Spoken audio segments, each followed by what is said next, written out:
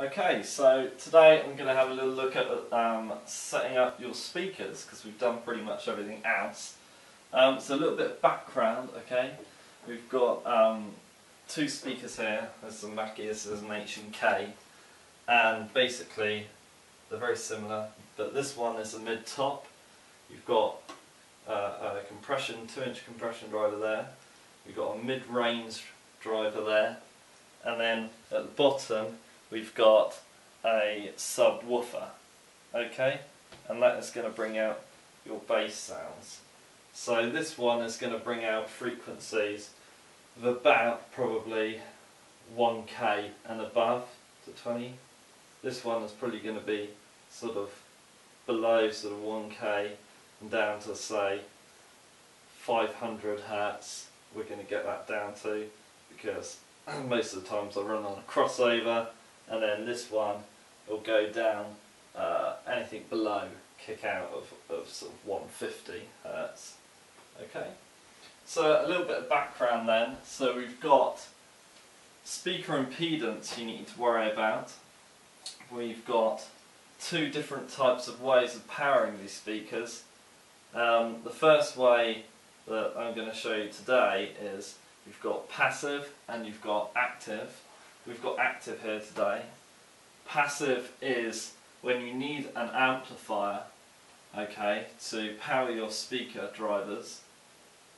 And then active is where you've actually got an inbuilt um, amplifier uh, inside the speaker unit itself and you will have to have a power lead to each speaker um, it's sort of pretty much the same really they don't make any difference although the only advantage that I can see if you're buying um, a, a powered speaker then this usually means that it is built for those drivers so we need to learn a little bit about speaker impedance so speaker impedance is the load or the resistance that the amplifier will undertake um, when it sees your speaker and it's driving them.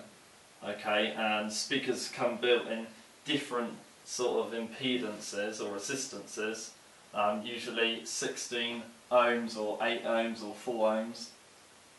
And then we've got, these are 8 I think, and then we've got um, generally the lower the impedance, the more efficient the speaker is because it's not putting too much of a strain on your power amp.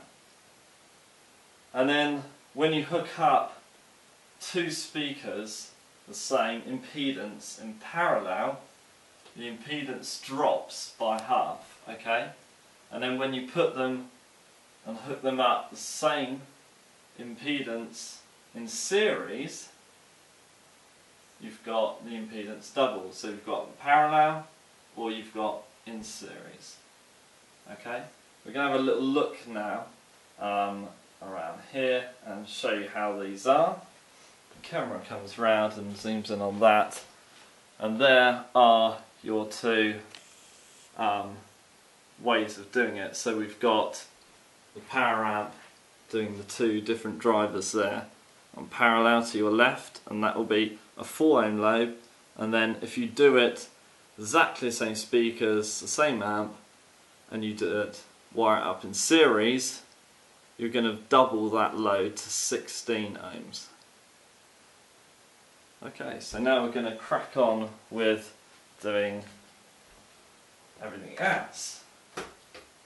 And um, I just wanted to show you one last thing on here which is a speaker driver itself.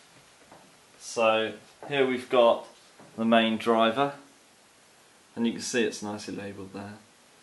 This is off of one of my lectures actually and we've basically got the magnet at the bottom surrounding the voice coil which inside the voice coil is another magnet. Um, so it's just a screen turning off on my laptop. And then on top of that we've got the dust cap.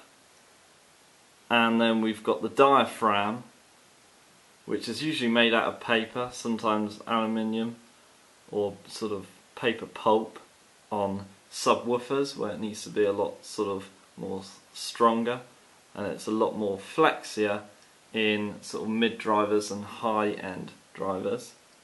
And then we've got the spider at the inside and the basket. And sometimes, not always, but sometimes on larger speakers you have the suspension rubber ring around the outside which holds in place and allows movement for the diaphragm. Okay, so we're now going to have a little look, that away, at plugging this sort of stuff in.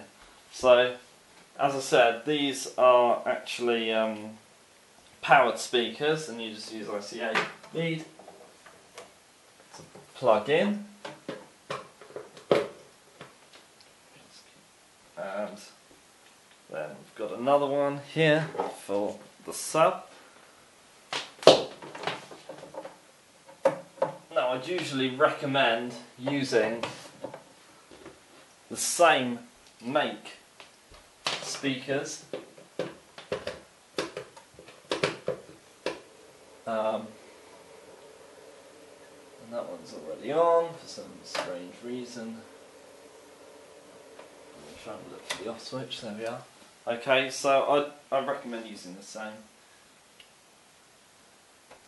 and uh, there we go we've got some sound going to be running through there. But before we do that we've got to wire in our mains and we've just got out of the desk and you always go into your sub drivers first at the bottom. Now these are slightly different. Here we've got a line in and then these XLR cables are the best ones to use because they have a ground or a third cable which is your third pin okay? And that takes away other frequencies and if you have it close to an electronic cable it sort of helps to ground it and take away any unwanted signals.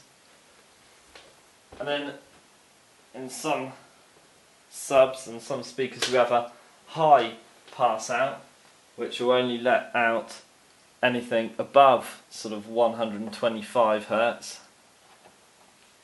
But it doesn't matter because we've got full range on this lovely H and then we're into the input of that one.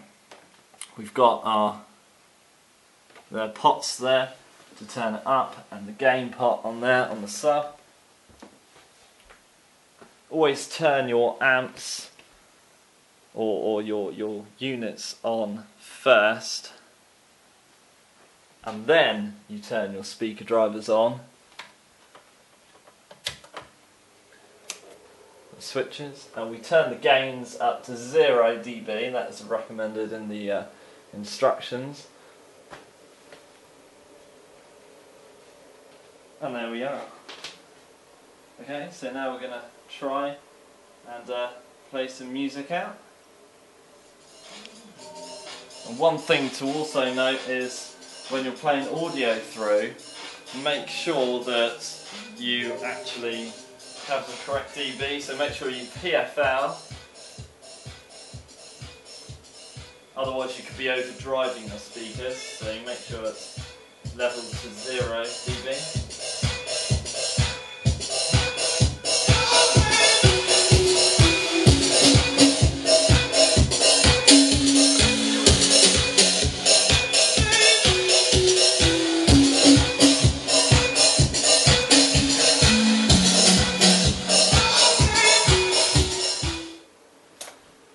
There it is, that's how to set up some basic uh, speaker cabs. Thank you very much. Uh, see you after Christmas.